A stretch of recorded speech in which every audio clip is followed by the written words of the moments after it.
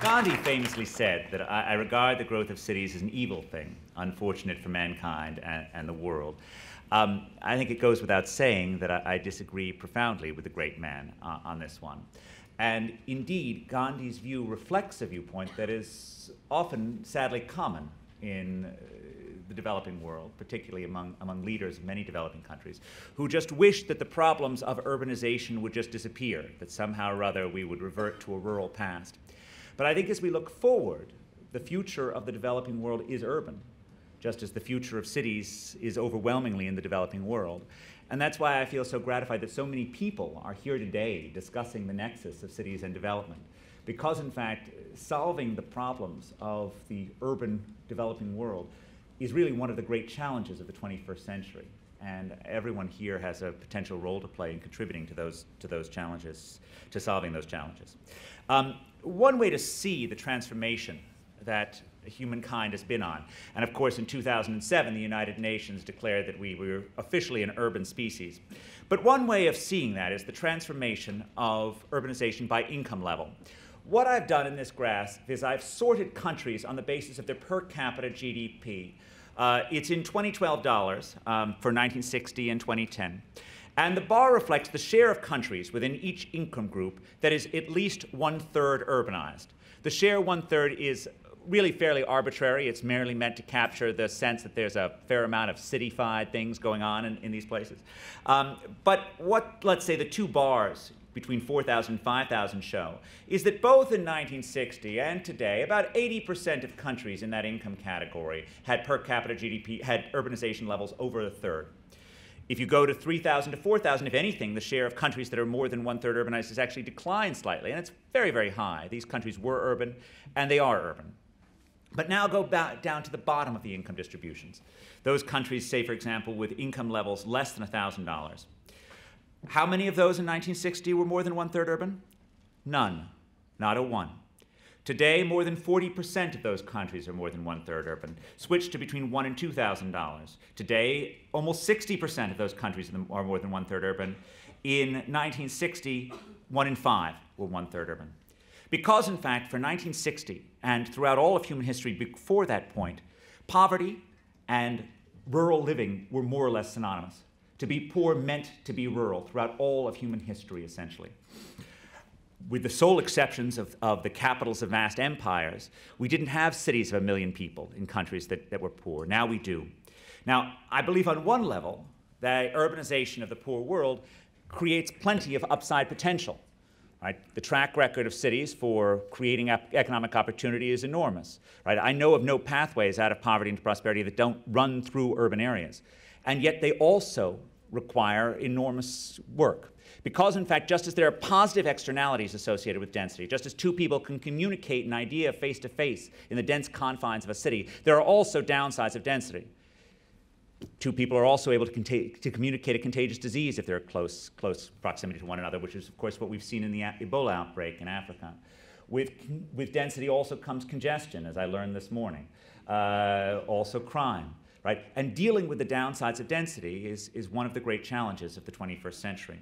Um, I write the strength of urban poverty because I think on net we always need to remember that urban poverty is not accidental and it does not reflect any tendency of cities to impoverish people. Cities have an abundance of poor people overwhelmingly because cities attract poor people with economic opportunity, with typically a stronger social safety net, with the ability to get around without a car for every adult. My own work with Matthew Kahn finds that poverty rates go up near new subway stops in the United States. Right? That's not a reflection of the subway stops impoverishing local residents, no matter what they're doing to taxpayers. Right? They're not impoverishing local residents. They are attracting poor people with the ability to live a, live a lifestyle without a car for every adult. Um, one reason why I think we should not buy into the anti-urban views that are, are all too common is the work on urban-rural happiness across, across the world. What the, each dot here shows is at the country level, the gap between self-reported life satisfaction in rural areas and in urban areas. When these dots are positive, it means that people in urban areas say that they are more satisfied with their lives than people who live in rural areas. Now, what you can see from this is that in wealthy countries, there's no particular tendency of urbanites to say that they're happier. Um, it will, you know, there's certainly no self-respecting New Yorker would admit to a surveyor how pleased they were with their lives. Uh, it sort of goes outside of our DNA. Uh, and indeed, you know, New York City typically ranks quite low in self-reported life satisfaction rates. Um, it also ranks quite low in suicide rates, which is in some sense a revealed preference uh, measure of life satisfaction. Now, if you go to rural, if you go to poor countries, the gap between urban and rural happiness is quite robust, right? Quite high. And you see that in India and Mali and Ghana, Moldova, Rwanda, and South Africa, Guatemala, all of these countries. No matter how messy the cities of these places look, the people who live in these cities say that they are significantly happier than the people who live in rural areas in these countries, right? I think anyone who thinks of rural India as some Wordsworthian idyll that is, you know, bucolic and peaceful and wonderful, hasn't been there any time recently, right? Um, as difficult as city living in India can be, and I was in Delhi on, on Saturday, um, it's not a surprise that millions of people come there, given the tremendous challenges of rural living. Now, there are some cities, some countries in which the urbanites say that they're less happy. Iraq, most notably. I remind you that this data was done between 2005 and 2007, where there were some negative shocks to urban living in Iraq. Uh, Thailand, and, and, I'm just echoing, I, I, suspect Paul Romer may have talked about the traffic problems in, in Bangkok earlier on. That is at least one hypothesis of why urbanites report such low levels of life satisfaction in Thailand. This is uh, the measures across, of happiness across the United States. You can see the low levels that I've already mentioned in New York. The overwhelming fact in the US is that urban decline is associated with unhappiness. And when we turn to historical data, we see that actually the declining cities of the US were unhappy in the 1940s. That unhappiness actually preceded decline, and probably the better interpretation is that they are declining because they are unhappy, not that they are unhappy because they are declining. Um, these are the type of cities that we're talk, countries that we're talking about, places that are quite poor, per capita incomes under $1,200, and more than one third urban. So we're talking about Kinshasa and Harare and Bamako and Port-au-Prince and Karachi and Senegal. Um, so three questions. Why are very poor countries urbanizing so rapidly when the West didn't urbanize until they were much richer? What determines the productivity of space? What's the role of density, institutions, human capital? And how can economics help understand and hopefully mitigate the problems that accompany poor world megacities? So I'm going to talk about all three of them. Uh, I'm going to talk mostly about the last question, but I'm going to give you a bit on the first two. I, think the answer that I'm pushing, and I'm very influenced by the work of Remi Jedwab on this, um, for why these countries urbanization is it's a transfer from a closed economy world to an open economy world. That the United States could only become 50% urbanized in the 1920s because it had to provide agricultural surpluses that were rich enough to feed millions of urbanites in New York City. Because they had to move those agricultural surpluses from Iowa to New York City, which required an awesome transportation network. That's no longer necessary in Port-au-Prince, which can be fed by boats carrying in rice from New Orleans, right? And the whole world, in terms of the way that we think about urban models, switches when we think about urban, open, and closed economies. And I'll just show you this with, a, with an illustration of a model that comes from a, uh, the Marshall lecture that I gave for the European Economics Association last year. This is just a canonical version of a Krugman-style geography and trade model. There's an agglomeration benefit that comes from doing different things in cities from a variety of inputs. And there are, utility functions are, are Stone-Geary if you care about such things. Um, in an open economy, Comparative statics, meaning the impact of changes in the productivity of manufacturing and the productivity of agriculture, look quite normal in the sense that if manufacturing, which is urban in this model, um, becomes more productive, as in this case, cities are bigger. If it's less productive, cities are smaller. And the point that shows where urbanization lies is the higher point. The lower point is an unstable equilibrium. There's a third equilibrium where the cities don't occur at all, which is in some sense a, a failure of, of, coordination. And that's because there are these, these agglomeration economies that are, means that you don't really want to be the only person in a city, right? Um, so this shows that, you know, manufacturing becomes more productive, then cities get bigger. And as agriculture gets less productive, cities also get bigger. Or as agriculture gets more productive, cities get smaller. This means that in an open world, right, if you have famines, people come to the cities. If you have civil wars in rural areas, people come to the cities, right? This is the product of an open economy. It actually was not true in closed economies, which have a reversal. And the reason for that from an economics point of view, and this is showing you less productive agriculture, and then as agriculture gets more productive, the urbanization rate, which is shown by the, mix, the crossing of those two points, actually rises. And the reason for this is that as agriculture becomes more productive, the price of agriculture goes down. So even though you're generating rich agricultural surpluses, right, it means that the actual value of what you're selling is going down. And, and for urbanites, the ability, the value of your manufactured goods relative to the agricultural surplus is going up. So this is something that has been true in the West for centuries, for millennia. That when we saw agricultural productivity increase, people were able to, were free to move to cities. Right? Some people have argued, in fact, that the Black Death, which increased the amount of land per capita, was a harbinger of the urbanization of the 15th century, because by creating additional agricultural surpluses on a per capita level, they enabled cities to evolve. Now, I want to make it very clear that this is not a pro Black Death statement. I'm not in any sense endorsing pandemics either now or in the future, um, but it is a view that, in fact, agricultural productivity historically was a necessity for urbanization to occur. This is no longer true when you're freed from the, the need to feed yourself and when you eliminate these price effects of added, of added uh, agricultural productivity. Um, this is just a little bit of evidence on this. This is in 1961, the quite robust relationship between urbanization and cereal yields across countries. So in 1960, the places that had the most productive agriculture were also the most urban. Um, this is a regression that shows how that de has declined over time. So the first thing to look is just the top row that shows the relationship between agricultural productivity and urbanization in 1961 and 2010. The first and third regressions are without continent controls. The second and fourth are with continent controls. Either way, you see a substantial decline in the connection between agricultural productivity and urbanization between 1960 and 2010. So in 1960, there was still this strong tendency of more agriculturally productive places to be more urban. That's no longer true now.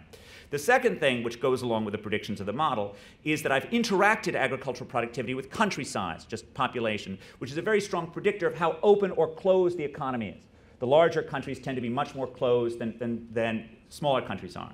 And what you can see is that agricultural productivity matters much more in big countries than it does in small countries. And you can use any number of different measures of openness or closeness, which tells you that agricultural productivity is positively associated with urbanization in closed economies today, in larger, larger countries, but negatively associated with it in more open economies. And that exactly fits this pattern that as we move from a closed world to an open world, we've seen the rise of poor country urbanization. We've seen the rise of urbanization in places that could never feed millions of, of urbanites if they were, had to do so with their own agricultural surpluses. All right. The second question that I'm going to talk a little bit about. Do cities increase productivity?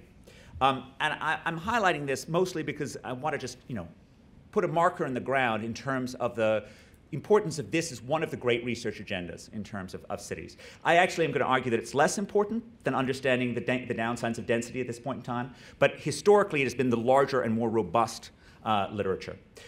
Now, we know that there is a robust relationship between ur urbanization per capita uh, earnings, right, per capita productivity. This is per capita GDP and, and purchasing power parity and urbanization across countries. And one of the reasons why I put this up is not to confuse the fact that just because we've seen a rise in poor country urbanization doesn't mean that the historic link between urbanization and incomes has in any sense declined. In fact, it has actually gone up over time. Um, but is this causal? How much of this is causal? Who knows, right? These two things go together historically, and it's very hard to think of effective sources of exogenous variation at the country level. When you look within countries, you also see a strong relationship between density and per capita productivity. The three largest metropolitan areas in the United States produce 18% of America's GDP, while including only 13% of America's population. And as you can see, the connection between density and uh, earnings in India and China is actually stronger than in the US. Forgive me, I've actually used saffron for China when, of course, it should be India, uh, and blue for, uh, blue for India. Um, but again, does this reflect the selection of more able people into cities? A, a hypothesis that's certainly friendly to many New Yorkers. Uh, does it reflect the tendency of cities to have innate sources of productive advantage, like the harbor of New York City, which both attract people, creates densities, and makes them more productive? So it's not a treatment effect of the density per se. Um, there is a robust literature trying to sort this out. One type of literature uses the migration patterns into cities and looks at people's wages before and after they come to urban areas. Typically, they find that people who come to cities don't experience huge wage gains immediately, But year after year, month after month, people experience faster wage growth when they live in urban areas. There's even a small literature using the randomized placement of immigrants to Sweden to try and sort out the selection, which also finds treatment effects of place. Then there's another literature which looks at shocking density. There are two different variants of this, one of which uses very long standing historical forces which have historically determined density but seem unlikely to cause productivity today. Classic example is water capacity of the subsoil across areas in France. This is from uh, Combes, Duranton, Gobillon, Roux. Um, other papers that have looked at that look at bedrock across American cities as well. So use these long-standing historical instruments, which also tend to find strong positive impacts of, of density on productivity. And then there, there, are attempts that look at short shocks, recent shocks to density. Probably the most famous paper is the one by uh, Greenstone, Hornbeck, and, and uh, Moretti that looks at million-dollar plants. So shocks to new plants that show up in rural parts of America tend to increase the productivity of people who aren't working in those plants. Again, that's interpreted as being a positive uh, spillover from density. Now, just as density is associated with uh, productivity across the US and elsewhere, there are even stronger relationships between human capital, area human capital, and area level success. And this is true both in changes. This is the relationship between share of the population with a college degree as of the year 2000 and population growth between 2000 and 2010 across America's counties. This is an enormously robust fact that skills determine which cities have done well and which cities have done poorly. If you want to understand why Seattle looks very different from Detroit, the fact that one half of Seattle's adults have college degrees and 12% of Detroit's adults have college degrees can pretty much explain, in a statistical sense, those differences. Um, and indeed, if you think that the overriding function of cities in an age in which distance is dead is to facilitate the flow of ideas, is to serve this role that Alfred Marshall highlighted 120 years ago when he talked about how in dense clusters the mysteries of the trade become no mystery but are, as it were, in the air, then it shouldn't surprise us that skills are the bedrock of urban success. This is the relationship between share of the population with college degrees and per capita GDP across America's cities. And this is, of course, not just the fact that more skills make you as a person more productive. It's the fact that having skills around you make you more productive. What economists call human capital externalities. The work of Enrico Moretti shows that as the share of adults in your metropolitan area with a college degree goes up by 10%, your earnings go up on average by 8%, holding your years of schooling constant. Okay? Um, this shows the relationship between area level human capital and earnings in the US, India, and China. This again is controlling for individual human capital and other individual attributes. Um, China's effect is, is slightly stronger than the US. India is just through the roof, to the extent to which I can't even believe this stuff. But the earnings correlation with, with local education in India is unbelievably strong. Um, now, um, there are, just as there are issues with the endogeneity of skills, and the possibility of more able people sorting into more skilled cities, um, those problems are exactly parallel as with the density productivity relationship. And just as in the case of the density productivity relationship, there are multiple ways of getting at it. One, again, uses migrants to skilled cities and sees whether or not they become more productive when they move to those areas. Enrico has done that in the US. Other things attempt to use shocks to the skill levels of particular places. So for example, there, there's a way of using long-standing variables which predict skills at the area level. So for example, with Yuren Ma, I, I've used the share of people who pass the tests to become bureaucrats in the Ming Dynasty in China. And that's what the, the horizontal axis is showing here. It's the, the relationship between basically the per capita pass rate for these bureaucrats tests 400 years ago in China. And it's showing the relationship between that and population growth since then. You can also use this variable to predict earnings across areas in China today, right? So this is basically the, the human capital equivalent of subsoil, right? As you use something that's deeply historical in terms of its, its uh, uh, variation. The other thing is to use something that's more akin to million dollar plants, to shocks. And this again uses China. This is work with Lu, Lu Ming. Um, in the 1950s, China shuffled around academic departments quite rapidly. Arguably, it's kind of random where they put these academic departments, or at least not necessarily related to any obvious economic function. So these are departments moving uh, in, they're also departments moving out. And you can use this essentially as an instrument, as a source of exogenous variation for the education of a city. Um, so it's a, it's a modestly powerful instrument, and then using this, we find effects of area education on earnings that are slightly larger than you find by just using a, a standard regression without an instrument. Um, these show the breakdowns by different of these. The top one shows just the ordinary least squares. The bottom one shows the instrumental variables by different occupations. So abstract, meaning sort of mental jobs, manual labor, and manufacturing. Um, and as you can see, the instrumental variables are typically somewhat larger. Um, okay, two other things on education and cities in, in China. Um, one of the ways in which education seems to be relating to productivity is a transition out of public sector employment into private sector employment across Chinese cities. So this is city level education along the x axis and the share of laborers working in the private sector along the y axis. And as you can see, there's a, there's a robust positive relationship between the amount of people who are in the private sector uh, and how educated the area is. That education seems to be part of this transition. One of the things that does not appear to be true is a relationship between education and entrepreneurship across Chinese cities, although we're just working on this. At least one of the possible interpretations for why there are human capital spillovers is having educated neighbors means potential employers, that smart people around you are people who would start new jobs and give you a job. Um, this is a relationship between at least one measure of entrepreneurship across Chinese cities and education, which appears, if anything, to be negative.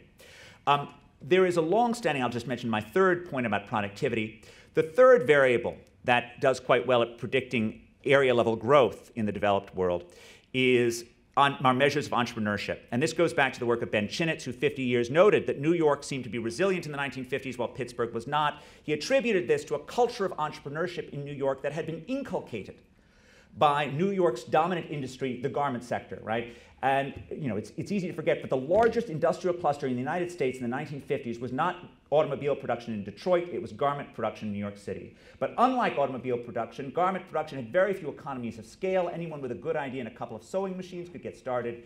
And as a result, Chinitz argued it was a mother of entrepreneurship. And that entrepreneurship proved to be relatively fungible. People who started out as entrepreneurs in the garment sector then went on to start movie studios or build skyscrapers or do any number of other things. It is remarkable, given how crappy our measures of entrepreneurship are, that's a technical term, uh, what a good job they do of predicting urban resilience. Our two measures are typically the share of employment in new firms at the start of the period and the average establishment size. Um, this shows that uh, if you just group your metropolitan areas in bins by average establishment size, the ones are the ones with the smalls, the fives are the ones with the big ones. Huge differences in employment growth. This is true within regions of the country. This is true within metropolitan areas if you look across industries. This is true within industries. And attempts again to find exogenous sources of variation like the presence of coal or other ore mines 100 years ago, which predicted industries like US Steel, which were a very large firm, which then predicted an absence of entrepreneurship in the last 30 years. This type of exercise also shows a very powerful impact of entrepreneurship on local success. Now, the most entrepreneurial place on the planet I've ever been is the Dharavi slum of Mumbai. Right? You walk through Dharavi and you know, you're just surrounded by the genius of Indian energy right? You, you walk into one shop and there's, there's a couple of guys sewing brassieres and you think you're in the Lower East Side of Manhattan in 1904. And then across the way, there, there are women who are sitting on the floor and they're recycling plastics. Then a little bit further down, there's a ceramics cluster. And they're making these pots and they're so proud of them, they won't even take money for you from them. And then a little bit further down, there are guys who are recycling paper boxes, which means you chop the boxes open and you turn them around and you restaple them up. Right? Who knew there was a living in this? But you know, mm-hmm. something amazing is happening, right? The city is telling them what there are markets for. And that's really, you know, I can't think of a better function for cities. And of course, you feel uplifted by the promise of Indian entrepreneurship. And then you go out in the street and you see a kid defecating in an unpaved road, right? And you know the electricity is intermittent and the water isn't safe to drink. And it reminds you, right, that in fact, cities need effective governance because of the downsides of density, because of the contagious diseases, because of the crime, because of the congestion. And that isn't really the third set of questions, the third area, which has been studied too little in the developing world. Now, we have lessons that we can draw from American history. Right? This is a, uh, the time series of death rates of, in New York City's own past. A boy born in New York City in 1900 could expect to live seven years less than the national average. Today, life expectancies are three years longer in New York than elsewhere. Nobody really understands why death rates are lower among older New Yorkers. Some people credit walking, some people credit social connections, but there's nothing that's hard on this. Among younger people, it's really easy to see. Vastly lower levels of motor vehicle accidents in New York. It's just safer to take the subway after taking a few drinks than getting behind the wheel of a car. And of course, those lower levels of suicide. Um, but that didn't happen easily. America's cities and towns were spending as much on clean water at the start of the 20th century as the federal government was spending on everything except for the post office and the army. This was an enormously expensive, enormously difficult undertaking. And I'm going to skip over this, but this sort of just shows the various bad things that happen in cities. Um, let's skip over this. But this, this wasn't easy, right? That in fact, once you're talking about building large scale infrastructure like the Croton Aqueduct, the possibility for waste and fraud are enormous. And these are two images that to me at least symbolize the two different types of waste and fraud that exist. Uh, the image on your, uh, what, the, the, the image of the courthouse is, of course, the Tweed Courthouse, right? Built uh, by the Tammany Hall machine during their worst thieving days, right? $100 faucets, ridiculous overpayment, which all found its way back to the coffers of, of William M. Tweed, right? And it's important as we think about, right, which of course Bill always reminds us, if, if we think about the corruption that exists in many developing countries today, it's important to remember that those guys had nothing on our boys in the 1860s and the 1870s, right? We were fantastic at expropriating taxpayers and lining the pockets of our own politicians, and there's knowledge in that. The other example, of course, is Detroit's people mover monorail, right? Equally wasteful, right? No evidence or not much evidence of any form of corruption. It just was a colossally stupid project, right? Uh, you know, Detroit was a city built for 1.85 million people. It is easy to drive around central city Detroit because there are no cars on the road. You never needed a monorail to glide over essentially empty streets. It reminds us of the ability of how easy it is to waste unbelievable amounts of money quickly with infrastructure, particularly, I would emphasize, on rail right, which involves making projections about demand that often fail to materialize, as opposed to buses where you actually get to see who shows up before you buy more buses. Um, now, um, the difficulties of actually building infrastructure get more extreme when governance gets worse. This is just the World Bank's measure of government effectiveness and urbanization. I only put this to remind us that there are many highly urbanized countries with very bad governments at this point in time. Right? So we are asking these countries to deal with the downsides of density in places that are both poor and poorly governed. And whereas there's almost no urban, urban demon of density that can't be handled by Singapore, right, with a combination of both wealth and, and competence, right, this is not true in Kinshasa. Um, now, as we think about the potential challenges, and this was my point about the grid, there are some things, and this is an image of the Croton Aqueduct, that require engineering. And I think in some sense we obsess too much about pricing water in the developing world. We just need to get it high enough so people don't leave the faucets on. But you really do want people to be um, consuming clean water. But there are some things where engineering is not enough. We cannot build our way out of traffic congestion because of something that the economists Gilles Duranton and Matthew Turner have called the fundamental law of highway traffic, which is that vehicle miles traveled increase roughly one for one with highway miles built. If you build it, they will drive it. Okay? There's no solution for this other than charging people to use valuable assets like city streets. And indeed, New York made a terrible mistake when it, it didn't embrace congestion pricing 10 years ago. And indeed, in China, the time for congestion pricing is now. And this is, of course, an image of electronic road pricing in Singapore, where, where the second densest country on the planet has streets that move relatively seamlessly, even during crowded hours, because they charge people for the social cost of their actions. Now, another trade off beyond water and, and congestion is in the area of rule of law and safety on city streets. This is less of a problem in India, for example, where neighborhoods tend to police themselves, which is what Jane Jacobs was talking about when she talked about the strength of Greenwich Village in protecting itself. On the other hand, there are other areas, and this is an image of, of Lagos, but Latin America in particular suffered by, from very, very unsafe urban areas. And here, sadly, there's a trade off between anarchy and authority. And it is often very hard to get something that is actually in the happy middle ground of you know, Scandinavia, where you have, have both order and, and relatively uh, limited, uh, very little hard law. I'm not going to walk you through this model, but um, the, this is a, a, model that's in my paper in the, in the, called World, World of Cities in the Journal of the European Economics Association that makes the point that urban problems get um, more difficult when institutional capacity is limited. And the, the heart of the problem is that people have an ability to damage each other. And then the question is, how can you stop that damaging? And the, the way the model works is that the higher the, the bigger the city, the harder it is to catch people, the more anonymous the city is. And that's, that, that fact is shown uh, in this data, which shows arrests per crime and city size across the US. So you're about 40% less likely to be arrested for a crime, at least when this data was taken, in a big city than outside. And just think about the anonymity of an urban neighborhood. Um, but on the other hand, the damage that's created by many negative actions are worse in cities. Just think about the impact of polluting a, a, water source, for example. That goes up with city size. So um, what this shows is the two lines. So uh, we're allowing a possibility of both what I call limited punishment and full punishment. Full punishment is the better thing, and then, then limited punishment is, the, is just saying that you can't manage to get everyone. Um, the two horizontal lines show the cutoff points for city population when full punishment or limited punishment is better than anarchy. So for really small cities, anarchy is best because you don't have to pay the cost of investing in all this. But as city size rises, you actually want more, uh, more control.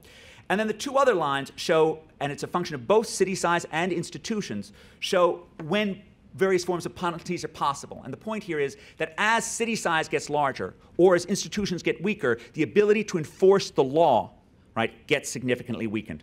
And that's something that, you know, as, as a kid born in this city in 1967, right, the feeling of a city getting out of control as both its institutions weakens and as its population rises feels very real to me.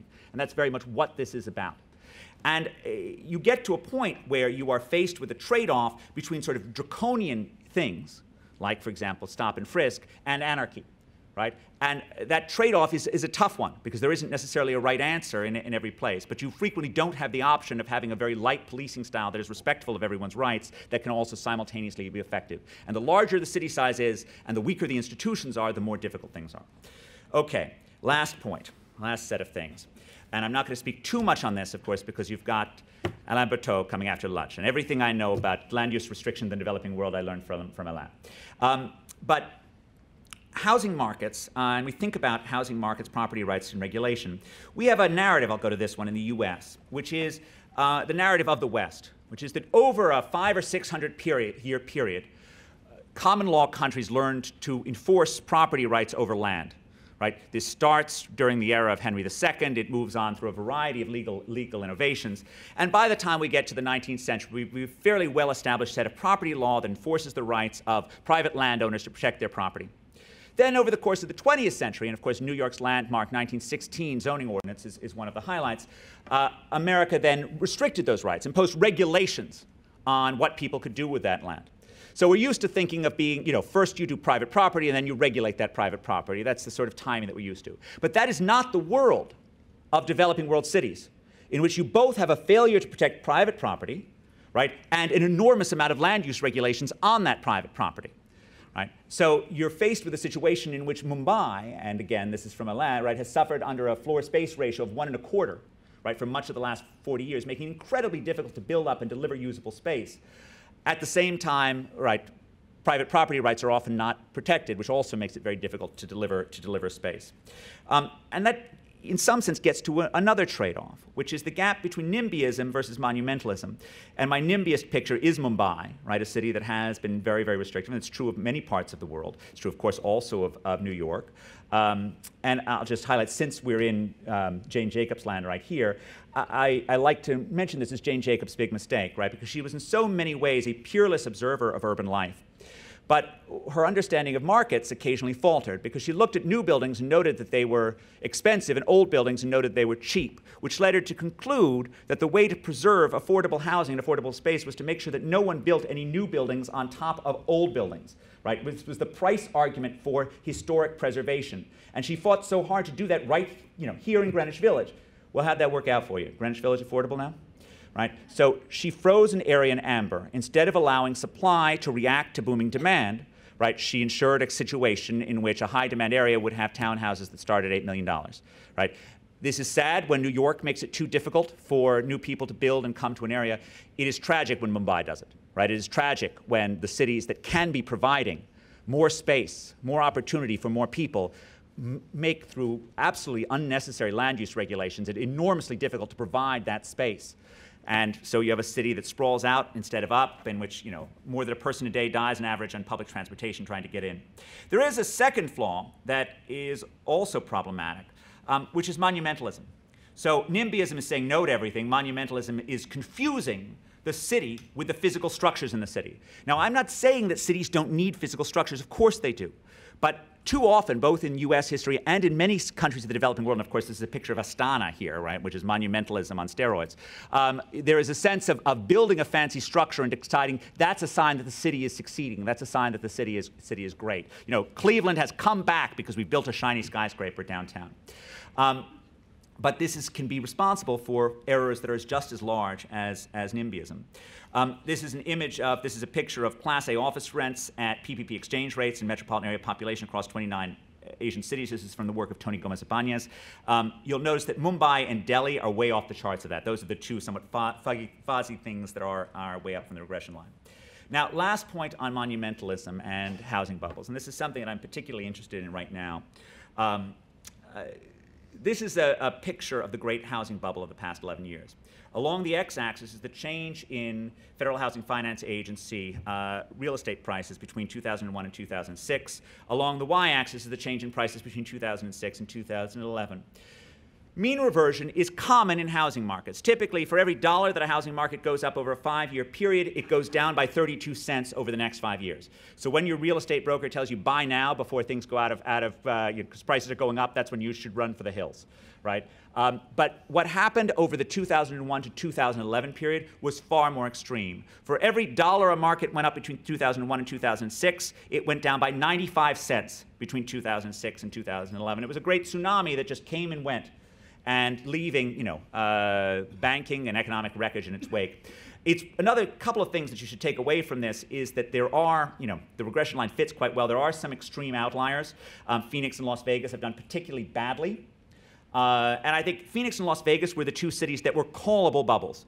And by this I mean that they, it was really clear that the prices paid in 2005 and 2006 were not sustainable. Because unlike New York, unlike San Francisco, regulations do not bind in these cities. They have an abundance of land and very few rules on that land. Therefore, the prices should fit the actual supply costs of delivering housing.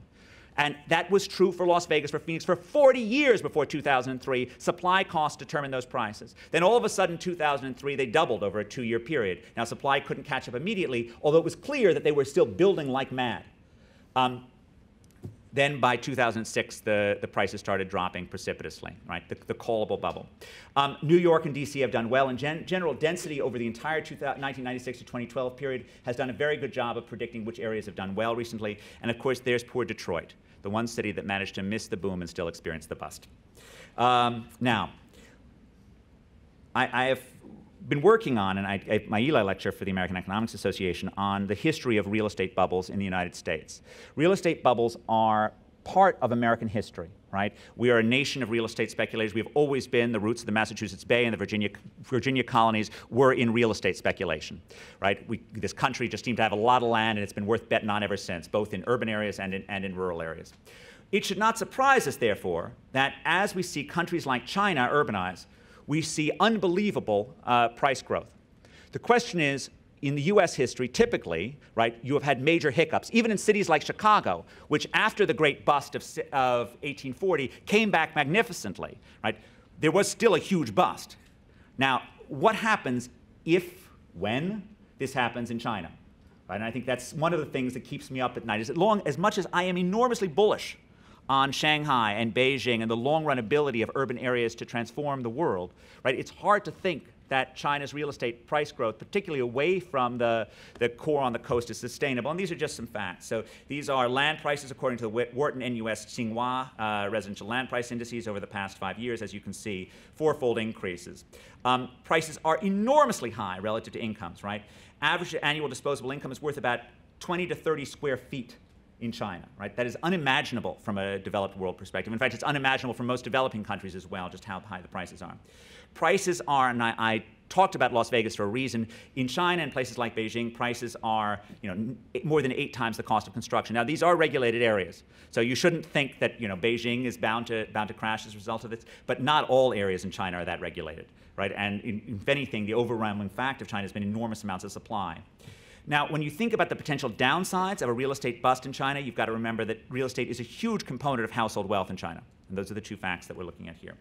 Um, and finally, um, even when things turn sour, prices don't adjust immediately. And this is sort of an amazing set of facts, which is these are the share of areas of units that are not sold over the past three years of construction. So these are areas in which you have 20, 25% of units right, that are not sold, of stock of unsold housing relative to the past three years of production, and it's graphed against the price growth. So you're looking at places that have had enormous price run-ups and enormous amounts of unsold stock. That is exactly what we saw in Las Vegas and Phoenix right? Places with a growing stock of unsold houses, and that, eh, that tends to end historically very, very badly.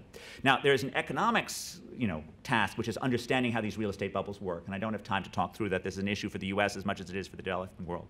But when we think about the developing world, when we think about China, the issue is not whether or not, you know, how to understand the rationality or irrationality of these bubbles. It is what will happen, right, if the bubble bursts. Right? It's what will that do to urbanization and to political change in China? And I think the, the possibilities are both good and not good as we think, as we think about that. Um, and one possibility, of course, is that this is related to political change, and which brings us back to the heart of what cities do.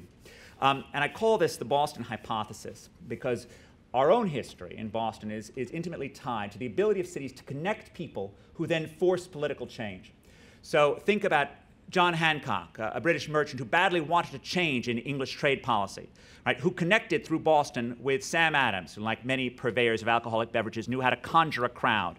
Right? Their connections then enable these changes to occur. Um, we've seen this over and over again whether or not it's Boston in 1776, Paris in 1789, St. Petersburg in 1917, or this is Tahrir Square, right, which was called the Facebook Revolution, of course, or the Twitter Revolution. But you know, uh, Mubarak wouldn't have stepped down if people had just unfriended him in Facebook. They, they needed to actually seize urban space to force change. Um, and cities have continued to have this possibility to force change. But I think the example of St. Petersburg reminds us that not all change is positive. And indeed, when you think about the political change that is possible in China, there are risks as well as upsides.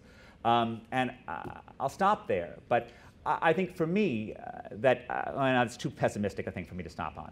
That yes, there are risks. There are also. I didn't even talk about the environmental side of this, and I, you know, I, I, I believe very strongly that when you think about cities and the environment, the cities are far more likely to be the solution than the problem. And this comes from my own work on, on density and carbon emissions across American cities, which if someone brings up during the questions, I'm happy to talk about.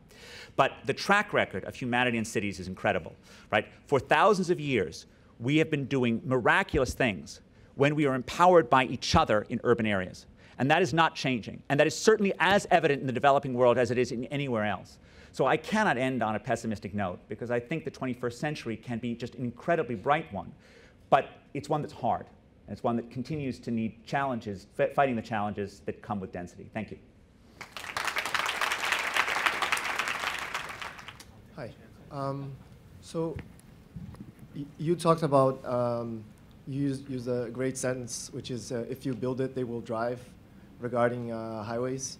And I come from Brazil, a city where uh, they did plan and build uh, large highways, actually, uh, inside cities.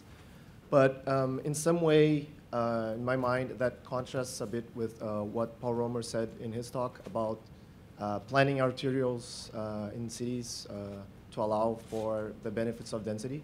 So I would like to hear your opinion to understand if that does actually contrast with his opinion, or what do you think about that? You know, I, I, was sadly stuck in traffic while Paul was speaking, uh, so uh, I can't really comment on it. Look, I mean, what, what I've heard Paul's usual theme is about the incredible importance of gridding your city early and making sure you protect those public spaces, with which I agree very, very heartily. I mean, I think that's, that's wisdom, and New York has benefited enormously from its 1811, 1811 grid. Um, the relative value of different arterials or use of other forms of, of how much you want to subsidize, put in highways or not, uh, there it's clearly debatable, right? I mean, certainly highways have not been all that kind for America's older, colder cities. The work of Nathaniel Baum Snow finds that each new highway that cut into an urban core after World War II reduced the central city's population by about 18% relative to the metropolitan area as a whole. That being said, you know, uh, America was going to move towards cars, right? The average commute by car in this country is 24 minutes. The average commute by, by public transportation is 48 minutes, right? And in some sense, cities we're going to have to have to adjust to that in some way. So I think that the sort of criticism of Robert Moses for you know attempting to retrofit the city for the car uh, somewhat misses the point. I mean, it's, every project needs to be taken on its own as a, you know, and evaluated using rigorous cost-benefit analysis. The point that I feel most comfortable making about cars is we should not subsidize them right? That in fact we shouldn't subsidize car related infrastructure. We should charge people for the social cost of driving, whether through gasoline taxes or congestion fees. And you know, this current administration has been particularly gung ho of using general tax revenues to subsidize highway construction. Every time you hear the, the president talk about infrastructure and how we need to invest in infrastructure, you shouldn't think that means John F. Kennedy Airport right? That means highways in Montana. Have you noticed how many senators those highways have relative to John F. Kennedy Airport? And have you re- noticed how much easier it is to build highways it is than to fix anything that's handled by the Port Authority of New York? Um, so it's, you know, you should, the, I mean, at the very least, they should be paid for by gas taxes, but better yet, they should be paid for by, by user fees. So I think that's the, that's the in, in, insofar as I'm not going to get into any particular arterial, that's the point. Cost benefit analysis, don't subsidize drivers. And, you know, I don't think you should subsidize airplane flyers either. There's no reason why some of the wealthier people on the planet shouldn't pay for the social costs of their own actions as well with, with landing fees, landing charges being used to pay for airports as well. There's no reason why general tax revenues should be used to pay for airports. Other questions? Yeah, so uh, you mentioned uh, earlier that uh, in your speech that um, uh, dense, that uh, hu humans are a species of you know that gravitate to urban settings. That's that's a, a, a natural thing that you said. And um, one of the things that I was interested in is kind of the tension between between being overly urban and kind of nature, and then kind of disconnect of growing and getting away from that, and how in the future we could build sustainable cities that do have the connection to nature. Because I think that's that's a problem, and I think that kind of stems into, you know, this whole cubicle lifestyle, taking away from be healthy and and being connected there's there's so much that's rich in what you're saying. So so there's so many different ways I can I can take this. So let me let me try and get get it get a bunch of them. So on one level, right, what he's saying is that human beings like like greenery and like good air and like environmental, environmental, and that's true, surely. And I think one of the things you've seen in the wealthy cities of the world is increasing recognition of this, is a move to include more environmental amenities in those cities, right? I mean, we saw a, a, great environmental amenity put in New York 150 years ago in Central Park, but that's something surely that will move forward, and even cities of the developing world that are weak on this right now 50, 100 years from now will surely become better in this. And I think certainly when you look at Europe, the, the hellish industrial cities of 120, 130 years ago don't feel like that anymore at all, right? And there's an increasing uh, ability to deliver that. Second way I want to take this, which is sort of important in terms of the economist's perspective on cities versus, you know, uh, particularly architects, right? The, the, there's no sense in which I am advocating that anyone should live in a city. I don't know where you should live. I personally got up in a suburb this morning and drove to, uh, drove to the airport, right? Blame my wife. Uh, the, um, but, uh, uh, you know, the economist's perspective is one that values freedom, that values choice, right? And I think it is a great thing that America has lots of different options of how to live. That some people get to live in, you know, in, in, rural areas, that some people get to live in suburbs, that some people get to live in cities, right? As long as you're charging people for the social cost of their actions, that's kind of the ideal, right? As long as people are paying for the uh, environmental cost, that's, that's kind of the ideal. So um, that's the second point that I want to make to respond. Um, the third point is about urbanization and sustainability across, across the world. And it is certainly true that insofar as urbanization is associated with increasing wealth, for those countries that are part of the first side of the environmental Kuznets curve, right, as they urbanize and as they get wealthier, there will be more carbon emissions, there will be more environmental damage, right? I think we can't expect, that was true of our own history, we can't expect anything, anything other than that. Whether or not we are willing to bribe them to mitigate that or not is a different question, but, but I think that's hard, to, uh, hard not, to, not to see that happening. Um, on the other hand, holding levels of wealth constant urbanization is far more likely to be the solution than the problem. Um, and there's a statistical version of this, which is just I've, I've held, holding income and family size constant uh, together with Matthew Kahn. I've examined you know, carbon emissions associated with living in different parts of the country. And you find typically that people who live in dense urban areas are associated with less energy use and less carbon, both because they involve smaller living spaces, again, holding income and family size constant. Urban apartments are smaller. Um, and also just because they drive less. And in the US, it's not about public transportation in most cities. It's just about driving three miles instead of 30 to, to, get, to, to get to work. And of course, the, the anecdote that I like to use to illustrate this is about a uh, young Harvard College graduate who, a beautiful spring day in 1844, went for a walk in the woods outside of Concord, Massachusetts. And he did a little fishing, and the fishing was good because there hadn't been much rain lately. But when he came to cook the fish into a chowder, that's of course what we do in Massachusetts, uh, the wind flicked the flames to the nearby dry grass and a fire started and it spread. And by the time it was done, it was a raging inferno that was wiping out a whole natural ecosystem. More than five, 400 acres of prime woodland had been burnt to the ground, right? This young man, of course, was Henry David Thoreau, the secular saint of American environmentalism, whose book Walden appears to preach a gospel of what a wonderful thing it is to live surrounded by nature, right? His own life, at least to me, appears to teach a different moral which is that we are a destructive species, and if you love nature, you should stay away from it. As indeed Thoreau would have done a great deal of good for nature if he had stayed at home in Cambridge or Boston rather than going to cook chowders in the woods outside of Concord. Next.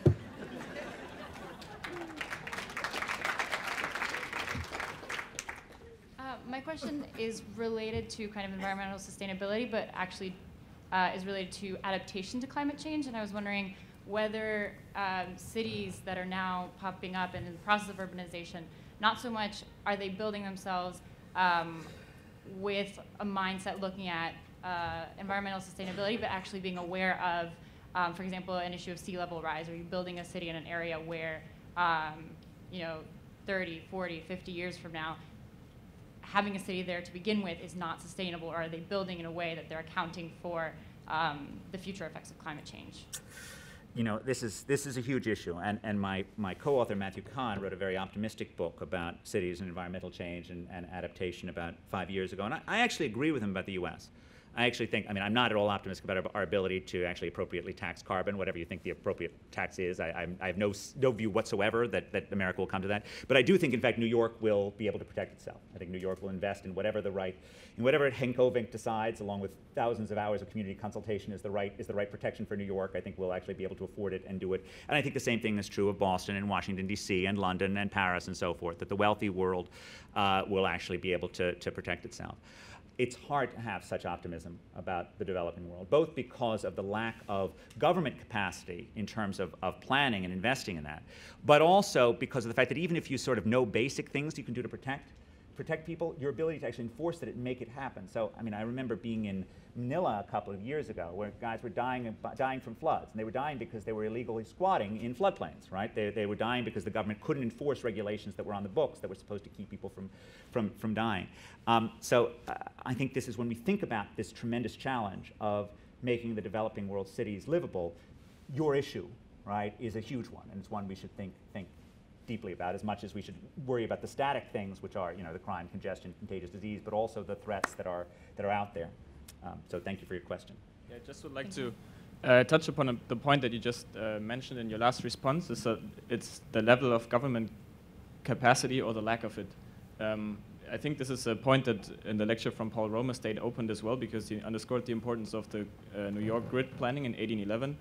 What happens if, if a country or a city um, from today in a developing country that faces the challenge of many migrants coming to the cities in the next 50 or 100 years, what if the country doesn't have the capacity to cope with this? And what, is, what if the country or the city doesn't have the capacity to do a grid planning? How, what would you suggest as a kind of policy? Or like, how, how, is, what, what is the solution there? Okay, so it'll be bad, okay? And, and it is bad in many areas. But I still believe that it is better than the rural past. And, and I'll make two comments on this, one of which is that you know the people are still choosing to come there, right? And that's sort of the central the central point. Now there are externalities from that, but there are also positive benefits of allowing more land per worker in the agricultural area as well. The second thing, which I think is really important, is that where do good governments come from? And again, I have this slide of the Boston hypothesis here, right? There's little track record of largely rural countries transforming themselves into places that are well governed, whereas the history of places like New York is replete with examples of urban bourgeois people coming together to improve the quality of government. So if I ask myself about where capacity is going to come from in the Congo, I don't think it's going to come from rural living. I mean, I think it's going to come from increasingly connected, increasingly educated urban population that will eventually figure out how to improve the quality of government. Now, I recognize that that's optimistic and hopeful, right? And it doesn't necessarily, you know, as I've, i emphasized in the case of the Boston hypothesis, bad things can also come out of urban change, political change in, in history. But I would certainly much rather gamble on an urban future than on the rural past, at least insofar as it's been shown, you know, the last 40 years of African history. Um, yes? I want to know what you think of the potential of mobile technology to reduce graft in the developing world. So there's a project in the Kibera slum of uh, Nairobi to hold politicians accountable when they're saying, yes, we have this uh, water distribution system that's coming under, you know, it's underway, it's coming along wonderfully, and people can take a picture and say, uh, no, this has been, there's been no work on this for six months.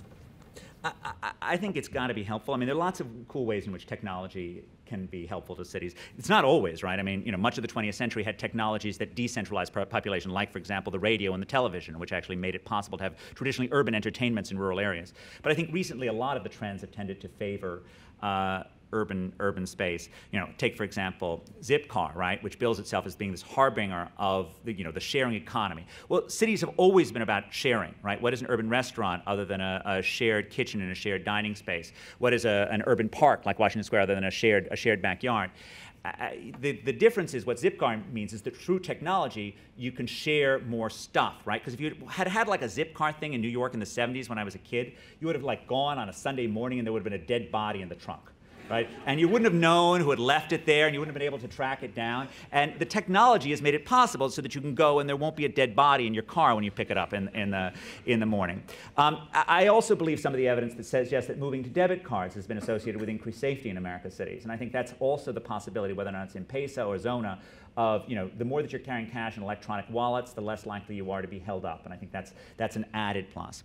Now, you specifically asked about technology's ability to discipline government. I, I think we should be optimistic, but again, remember, it's only going to work if the government actually kind of wants to be disciplined, right? That, that there's a lot of, you know, there's a lot of capacity uh, in both the developed and the developing world for governments to ignore all sorts of reasonable complaints uh, that have been documented even without this technology in the past. So I think it'll probably make the most difference on governments where there's sort of some well-meaning stuff at the top and then there's difficulty implementing below.